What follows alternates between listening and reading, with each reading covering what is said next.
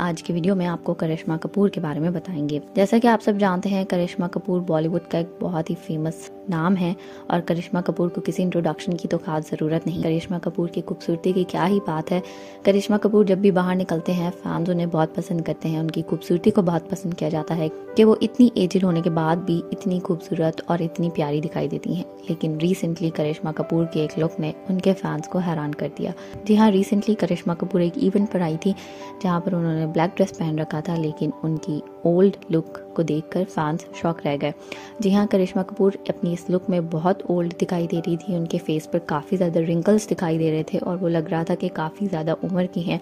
बिल्कुल पुरानी करिश्मा कपूर नहीं लग रही थी और एकदम से चेंज दिखाई देने लगी और ऐसा लग रहा था कि वो बहुत एजड है। और सिर्फ़ हमें ही नहीं लग रहा था, बहुत सारे कमेंट्स भी उनको इस बात पे मिले हैं कि वो ऐसी क्यों दिखने लग गई हैं। वो कुछ समय पहले तक तो बहुत अच्छी थी और अभी एकदम से उनके चेहरे को क्या हो गया है कि वो इतनी ओल्ड और इतनी ज़्यादा टायर्ड और इतनी जो है रिंकल और इस तरह का फेस उनका कैसे हो गया है? इस बात पर नेटिजन्स काफ़ी ज़्यादा क्वेश्चन पूछ रहे हैं।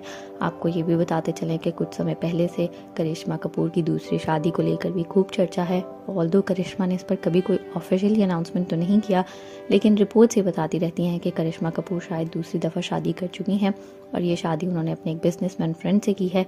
बच्चे बड़े होने के बाद उनको एक कंपेनियनशिप की बहुत ज़रूरत थी और इसलिए उन्होंने अपने बच्चों के बाद ये सोचा कि अब वो शादी कर सकती हैं। आप करिश्मा कपूर के इस लुक पर क्या कहेंगे? कि आपको भी ऐसा लगता है कि करिश्मा कपूर वाकई ओल्ड लगने लगी हैं? तो हमें कमेंट्स में बताना ना भूलिएगा।